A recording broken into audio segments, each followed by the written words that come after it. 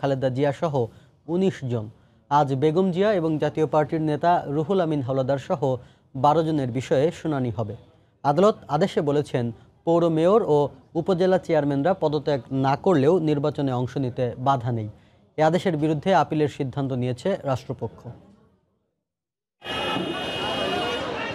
নির্বাচন কমিশনের প্রার্থিতা বাতিলের সিদ্ধান্তের বিরুদ্ধে রোববার হাইকোর্টে আবেদন করেন বিএনপি চেয়ারপারসন বেগম খালেদা জিয়া সহ উনিশ জন। বেগম জিয়ার আইনজীবীরা জানান, সোমবার সকালে এই আবেদনের উপর শুনানি অনুষ্ঠিত হবে। তাদের প্রত্যাশা, হাইকোর্টে ন্যায় বিচার পাবেন তারা। বেগম খালেদা জিয়ার মনোনয়ন সংক্রান্ত যে রিজেকশন হয়েছে নির্বাচন কমিশন থেকে, আশা করছি মহামান্য সুপ্রিম কোর্টের হাইকোর্ট ডিভিশনে আমরা ন্যায় বিচার পাবো। এই উনিশ জনের মধ্যে পাঁচজন বিএনপির মনোনীত প্রার্থী হলেও পৌর মেয়র ও উপজেলা চেয়ারম্যান পদে থেকে মনোনয়নপত্র জমা দেওয়ায় তাদের মনোনয়নপত্র বাতিল হয়। রোববার শুনানি শেষে তাদের প্রার্থিতা বহাল রাখার আদেশ দেন উচ্চ আদালত। আদালত বলেন, পৌর মেয়র ও উপজেলা চেয়ারম্যানরা পদত্যাগ না করলেও নির্বাচনে অংশ নিতে বাধা নেই। নির্বাচন কমিশন সহ অন্যান্য যারা বিবাদী আছে, তাদের পরে রুল নিশি জারি করেছেন। রিটার্নিং অফিসার মনোনয়ন বাতিল করে যে আদেশ দিয়েছিল এবং নির্বাচন কমিশন সেই আদেশটি, সেই আপিল আদেশটি বহাল রাখার মাধ্যমে যে আদেশ দিয়েছিল, সে দুটি স্থগিত করেছে। স্থানীয় সরকার বিষয়ক আইনগুলো মোটামুটি সবই এক।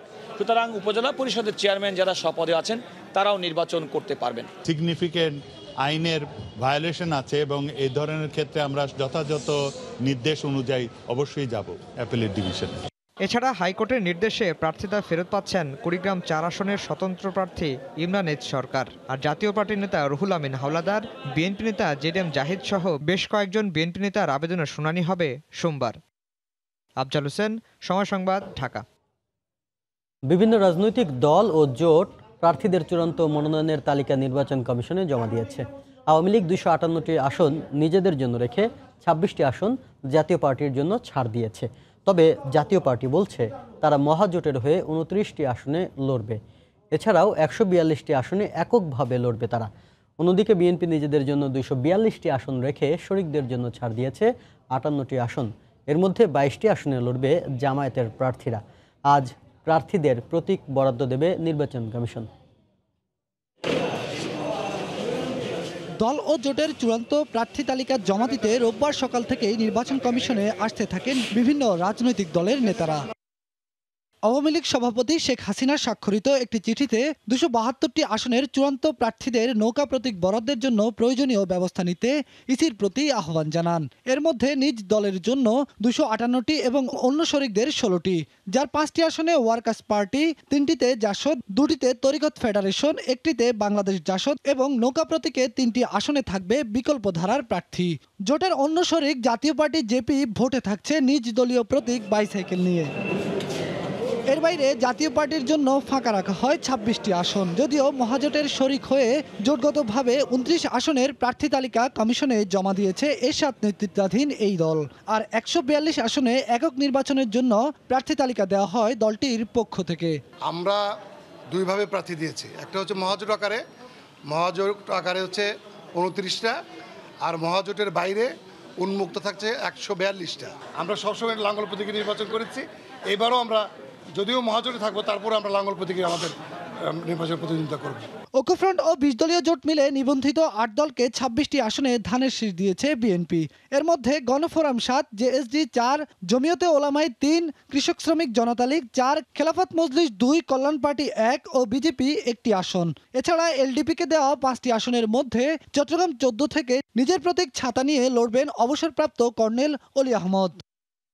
কক্সবাজার দুইয়ে স্বতন্ত্র হিসেবে রয়েছে জামাতের একজন প্রার্থী। এছাড়া ধানের শীষ প্রতীকে আরও একুশটি আসনে নির্বাচন করছে জামাতের প্রার্থীরা। চারটি আসন নাগরিক ঐক্য সহ জোটের অনিবন্ধিত দলগুলোর জন্য নয়টি আসন রেখে দুশো বিয়াল্লিশটি আসনে সরাসরি লড়ছেন বিএনপি নেতারা।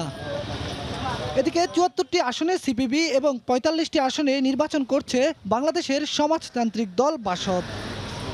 বিলায়ত সাইন সময় সংবাদ, ঢাকা। জাতীয় সংসদ নির্বাচনকে সামনে রেখে দেশের সব রিটার্নিং কার্যালয়ে চলছে প্রতীক বরাদ্দ।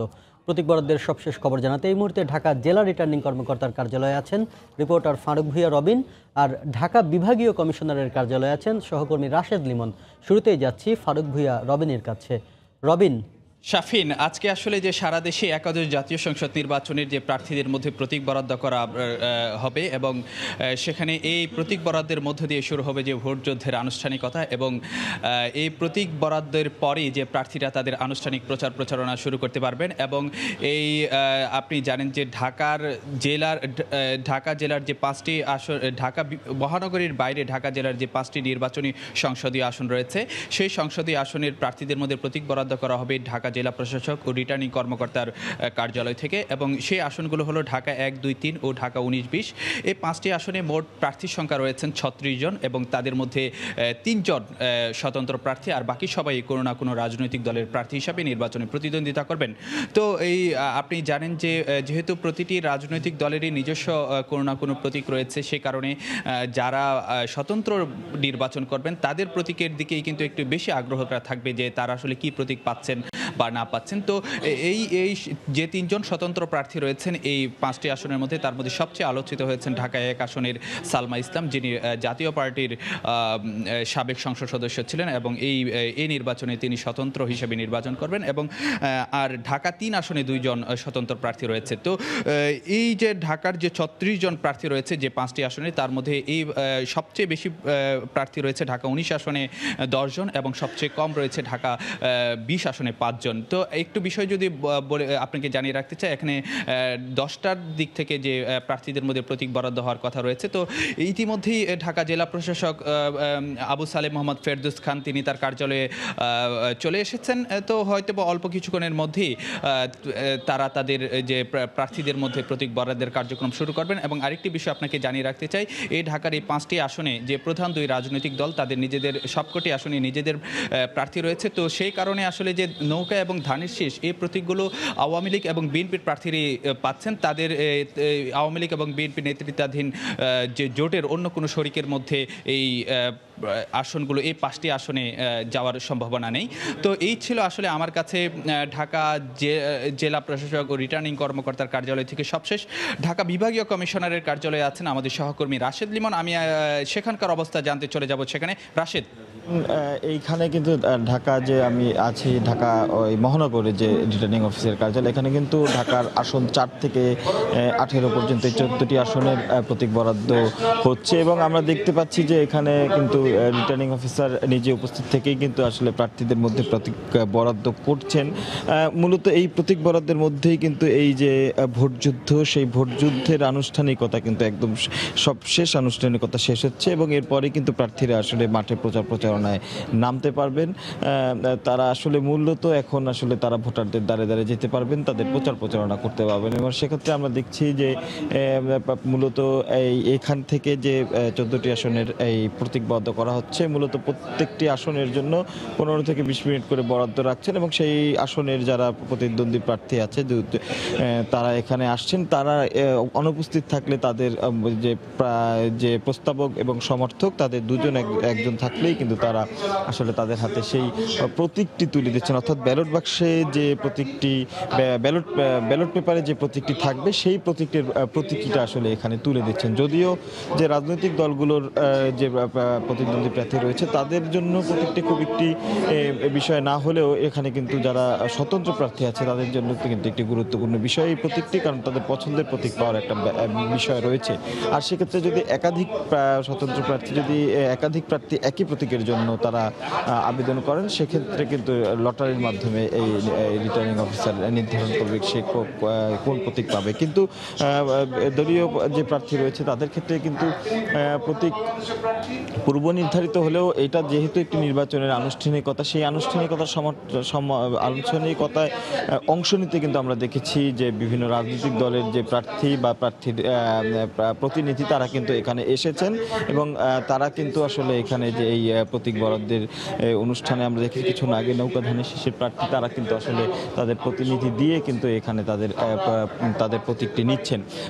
এবং কিছুক্ষণ আগে রিটার্নিং কর্মকর্তা তিনি যেটা বললেন যেহেতু আজকে প্রতীক বরাদ্দ এবং তারা মাঠে নামবে নির্বাচনী প্রচার প্রচারণা তিনি কিন্তু প্রার্থীদের উদ্দেশ্য করে কিছু দিক নির্দেশনা দিয়েছেন এবং সেই দিক নির্দেশনার মাধ্যমে তিনি প্রার্থীদের যাতে নির্বাচনী আচরণবিধি মেনে চলেন এবং একটি সুষ্ঠু নির্বাচনের জন্য তারা আসলে প্রার্থীদের কাছেও আহ, প্রার্থীরাও একটা বড় ভূমিকা রাখতে পারবে, সেই বিষয়টি প্রার্থীদেরকে কিছুটা বুঝিয়ে দিয়ে তাদের আসলে বিভিন্ন দিক নির্দেশনা দিয়ে সুষ্ঠু নির্বাচনের সাথে আচরণবিধিগুলো মেনে চলার জন্য সবাইকে অনুরোধ জানিয়েছেন। তো এই ছিল রিটার্নিং অফিসারের কার্যালয় থেকে এখনকার মতো আমার কাছ থেকে সাফিন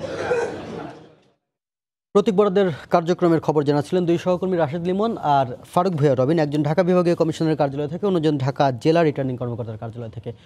এই মুহূর্তে নির্বাচন কমিশন সচিবালয়ে আছেন সহকর্মী বেলায়েত হোসাইন। সেখানকার সবশেষ খবর জানতে আমরা সরাসরি চলে যাব তার কাছে। বেলায়েত জুডিশিয়াল ম্যাজিস্ট্রেট হিসেবে দায়িত্ব পালন করবেন, তাদের উদ্দেশ্যে ব্রিফিং দেওয়া শুরু করবে নির্বাচন কমিশন। আজকে মূলত এই ব্রিফিংয়ে অংশ নিচ্ছে সারা দেশ থেকে আসা দুইশো পনেরো জন জুডিশিয়াল ম্যাজিস্ট্রেট সব মিলিয়ে তিন দিন ব্যাপী এই ব্রিফিংয়ে অংশ নেবেন ছয়শো চল্লিশ জন জুডিশিয়াল ম্যাজিস্ট্রেট একটু জানিয়ে রাখতে চাই যে, নির্বাচন কমিশনের আগামী জাতীয় সংসদ নির্বাচনকে কেন্দ্র করে যতগুলো আনুষ্ঠানিকতা আছে, একেবারেই শেষ আনুষ্ঠানিকতা এসে কিন্তু নির্বাচন কমিশন চলে এসেছে। আপনি জানেন যে গতকালকে প্রার্থিতা পরা- প্রত্যাহারের পর কোন রাজনৈতিক দলে কতজন প্রার্থী আছে সে বিষয়ে চূড়ান্ত হয়ে যাওয়ার পর আজকে চূড়ান্তভাবে প্রতীক বরাদ্দ দিয়ে- দেওয়া হচ্ছে প্রার্থীদেরকে এবং আজকে থেকে কিন্তু প্রার্থীরা প্রচারণায় নামতে পারছেন। আর এর বাইরে নির্বাচনের মাঠে যারা নিয়োজিত থাকবেন, বিশেষ করে ভোট গ্রহণ কর্মকর্তা, নির্বাহী ম্যাজিস্ট্রেট এবং জুডিশিয়াল ম্যাজিস্ট্রেট, তাদের প্রশিক্ষণের কার্যক্রমটাও কিন্তু একেবারে শেষের দিকে নির্বাচন কমিশন নিয়ে এসেছে।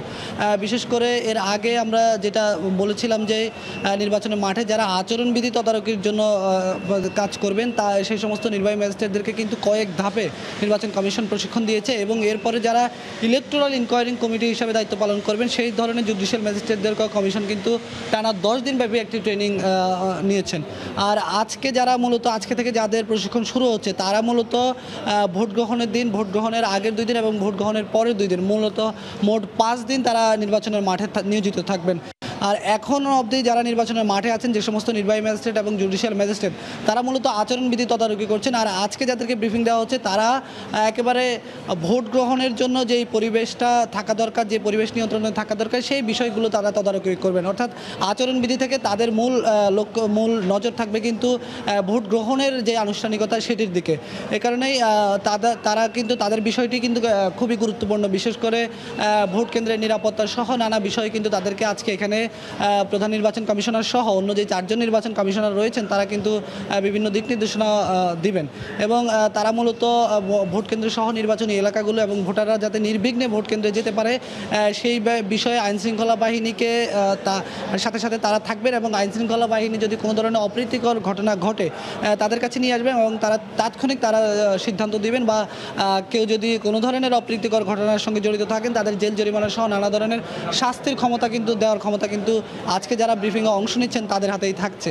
এবং এই ব্রিফিং কিছুক্ষণের মধ্যেই শুরু হবে যেটা বলেছিলাম যে চারজন নির্বাচন কমিশনার আলাদা আলাদাভাবে দিক নির্দেশনা দেবেন এবং চূড়ান্তভাবে প্রধান নির্বাচন কমিশনার তাদেরকে বিভিন্ন ধরনের মাঠে কীভাবে দায়িত্ব পালন করবে সেই ধরনের দিক নির্দেশনা দেবেন।